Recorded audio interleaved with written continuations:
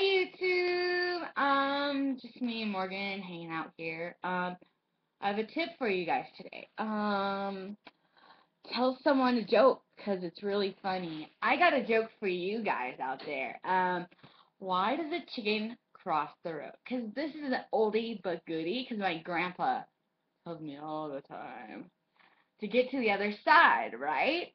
So I, I got another one. Why did the chicken went to the park? To get to the other slide. Get it? Not side, slide. Very funny. Um, what else can I do for you guys today? Oh, I got another joke. Um, hmm. oh, here goes. Um, what's a cow's favorite place? Tell me, tell me, tell me, tell me, tell me. The movies. Get it? The movies?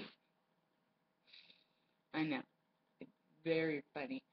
Alright, um, I, I need to tell you some more stuff. Um, I'm going to Fresno. I'm going to San Diego. I'm going to Camp Krem.